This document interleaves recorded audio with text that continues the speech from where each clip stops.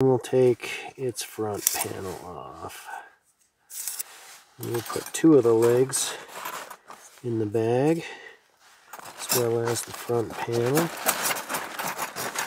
of both.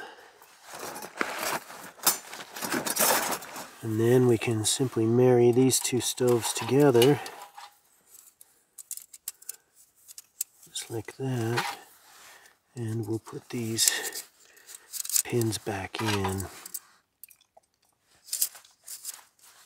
This gives us a six-sided stove. Put these pins back through these fire sticks.